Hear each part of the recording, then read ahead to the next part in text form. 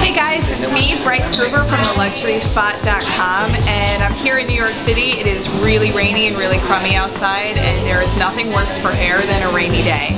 So we're here at Mizu Salon to find out what the best hairstyles that are really easy to do at home are for rainy days. Let's go find out.